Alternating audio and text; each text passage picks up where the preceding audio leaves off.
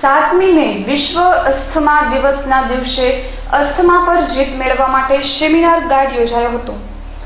વિશ્વ અસ્થમા દિવસ પર દમ અને ઇન્હેલેશન થેરેપી પ્રતિ લોકોની ધારણા બદલવી ખૂબ જ જરૂરી છે. આ સ્થિતિમાં લોકોની જાણકારી વધે તે માટે આ સેમિનારનું આયોજન કરવામાં આવ્યું હતું. અહેવાલ, અસ્મિન લિંબાશિયા અમદાવાદ.